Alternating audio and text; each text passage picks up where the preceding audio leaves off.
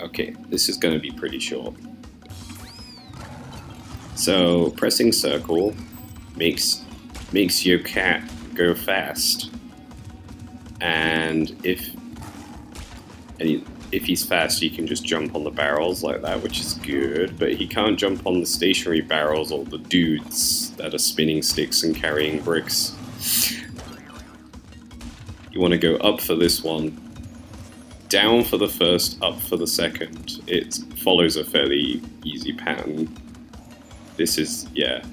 A lot of the sprinting kind of screws you in some places because you're very inaccurate and sometimes it means you arrive at certain obstacles at bad times, meaning that it's like a rolling block like that, where there's a stationary man and the man hasn't started walking far enough yet, the carrying man.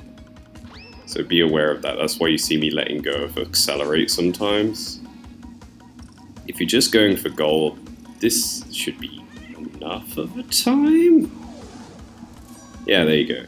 So, you know, relatively easy. Don't feel the need to go ham if you're just going for gold, but if you're trying to go for platinum, really need to memorize. It's a short track, so it won't take you long to memorize it, but like those timings and hitting the time crates are very important.